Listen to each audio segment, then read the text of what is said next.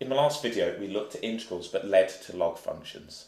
In those particular cases, we had some multiple of the derivative in the numerator and then the function in the denominator. Sometimes integrals that lead to log and reciprocal functions aren't always obvious to spot. In these particular cases, we can use partial fractions to split the integral and then deal with much simpler expressions. So let's look at an example of that. Let's take now the integral and we will have now 7 over the quantity and we'll take 2x minus 1 multiplied by the quantity 3x plus 2. We want to integrate this now with respect to x. Now if I look at this, I've got a quadratic in the denominator. Therefore the numerator isn't a multiple of the derivative, as I should have a linear term. I would have some form of x in the numerator. Therefore, what we're going to do is use partial fractions to split this up. So using partial fractions, which I'm assuming you have an understanding of, 2x minus 1 multiplied now by 3x plus 2 in the denominator. We will now set up an identity and I can write a over the quantity 2x minus 1 plus b over the quantity 3x plus 2. So if you're not familiar with partial fractions, please check out my site as that is absolutely essential for this section of integration. Okay, so rewriting, we're going to have now 7, then we'll have a, we will have the 3x plus 2, and then we'll have plus b, and then we'll have now 2x minus 1. We can of course set x to be minus 2 thirds, and then x to be equal to positive 1 half, or we could solve a simultaneous equation. I'm just going to solve a simultaneous equation here, and we can see terms in x, so if we look at terms in x, we're going to have 3a plus 2b will be equal to 0. If we consider now the constants, we're going to have now 2a and then it's going to be minus b is equal to 7. So if we call this one equation 1 and this one equation 2, we can go ahead and double up equation 2. So I've got 3a plus 2b is equal to 0 and then we've got now 4a minus 2b will be equal to 14. If we do 1 plus 2, so 1 plus 2, we're going to have now 7a is equal to 14. Dividing both sides by 7a is going to be 2. And then we can simply sub that back in to find b. So from there, if I put it back into here, we can see that b would be equal now to minus 3. So a is equal to 2, b is equal to minus 3. So what we've actually got now is the integral, and we can write this like so we can write this as the integral of 2 over the quantity 2x minus 1. Then we're going to have minus 3 over the quantity 3x plus 2. Now, if we look at these, now we've got the derivative in the numerator and the original function in the denominator. So what I can say now is the following. If we are integrating this now with respect to x, if I integrate 2 over 2x minus 1, I'm going to have the natural log of the modulus now of 2x minus 1. If I now integrate 3 over 3x plus 2, I'm going to have now the natural log of the modulus of 3x plus 2. If that's new to you, please check out the video before, as this now assumes that you understand that one. And then we have a constant of integration. We could, of course, just combine the logs using log laws, and we'd have the natural log of the modulus of 2x minus 1 over the quantity 3x plus 2 plus a constant. And you could even combine the constant with now the log. But this would be perfectly fine. So all I've done is split that up and use logs. In terms of your partial fractions, it's entirely up to you. I appreciate at this point I could have written, I could have said let x be equal to minus 2 thirds and then set this one to 0 and then now let x be equal to 1 half, set that one to 0 and solve. This isn't an exercise in partial fractions, we're just looking now at one way that we could deal with this. So now we've got an exact derivative here and we can just go ahead and integrate. If you're not spotting that, you could have written now 2 the natural log of the modulus of 2x minus 1 and then divide through by the derivative of the inside function and your 2's would cancel. Often people can spot that straight off, sometimes they don't, so doing this method might be helpful, especially if you had, for example, 6 over 2x minus 1. you could write 6 for natural log of 2x minus 1 divided by 2, which would give you 3 lots of the natural log of the modulus of 2x minus 1. So that's a nice straightforward example of using partial fractions. Okay, let's look at another one. Let's go for a different one. Let's have a look at the integral now of 2x minus 1 over the quantity now x plus 1 all squared. So if we look at this again, what we've got is the following. We've got 2x minus 1 in the numerator. Now it might be tempting to think, well that's going to be the derivative because we're going to have an x squared term in here. But we're going to have x squared plus 2x plus 1. And this isn't a multiple of that derivative. The derivative of the uh, denominator here is going to be 2x plus 2. So that is not now the derivative. So do check because it could make your life slightly easier. But essentially what we need to do here is go ahead and split this up.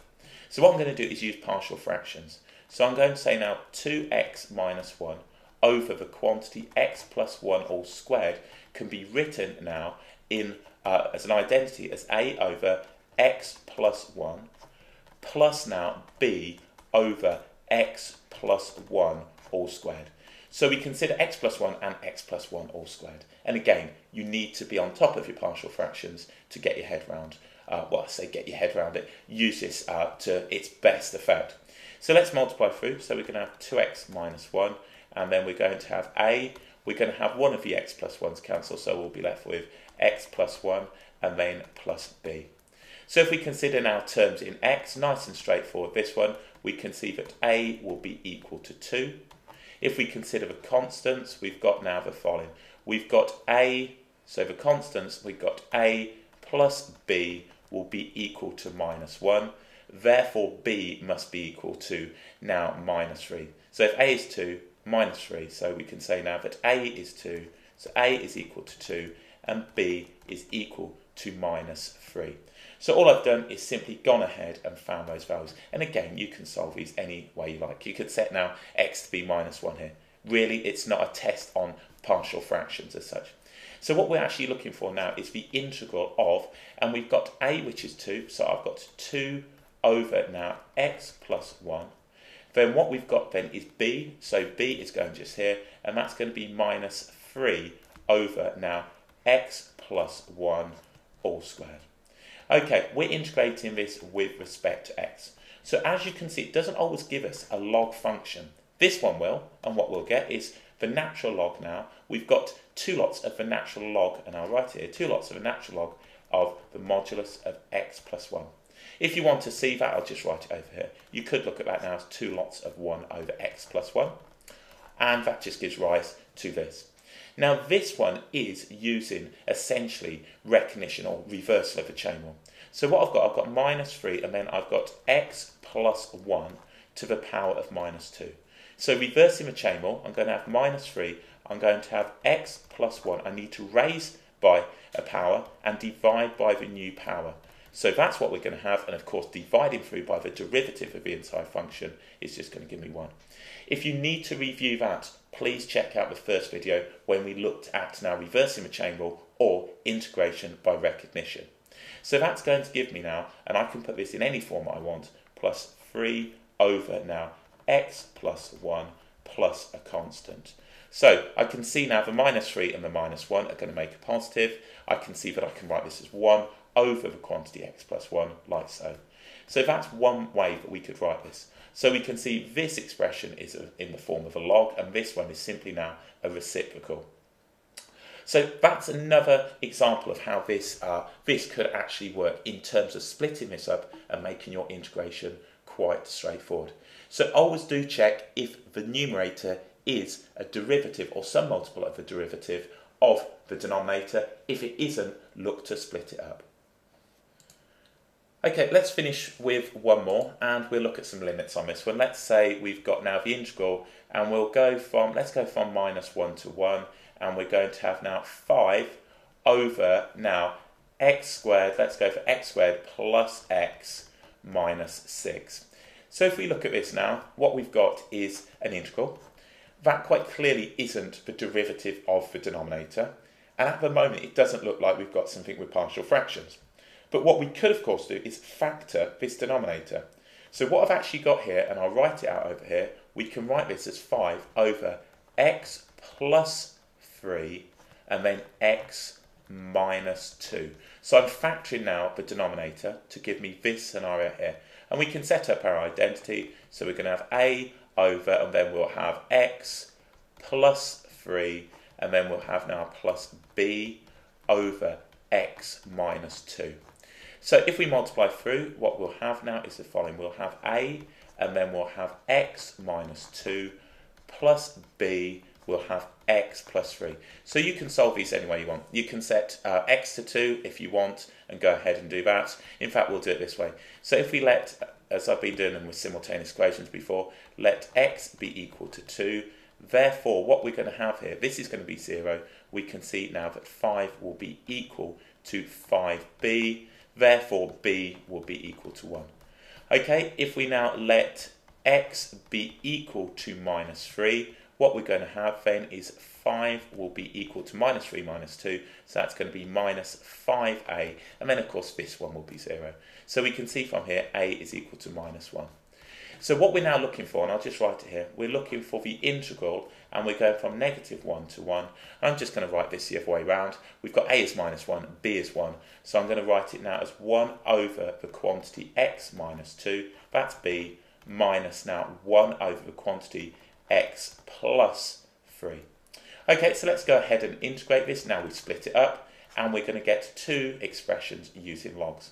So what we've got now is the following.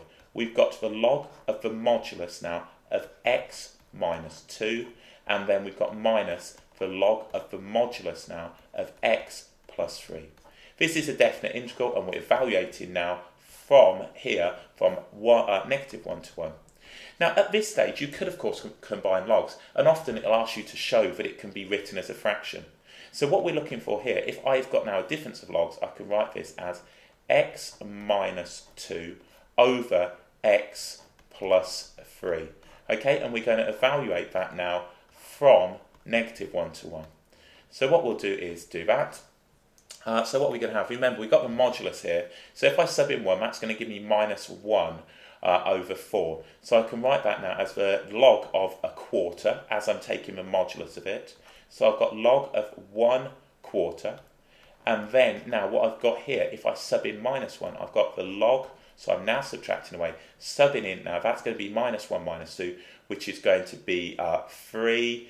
Uh, and that's going to be 2. So this is now going to be the natural log of 3 over 2. So minus 1 minus 2 is going to give me minus 3, and then minus 1 plus a 3 is going to give me 2, using now the modulus of those, and we can simply go ahead now as we're subtracting these, and now write this as this one divided by this one, which is going to give me the natural log of, what's that going to be, 2 over 12, which is going to be 1 over 6. So that's my answer by simply evaluating. So a, a, few different examples of where we're splitting these integrals up using partial fractions to make our work simpler. So I'm assuming that you're happy with partial fractions. I've done this a couple of ways. This isn't a tutorial or lesson on doing partial fractions. And also I've assumed that you watch a video beforehand where you're able to integrate when we end up with a log function.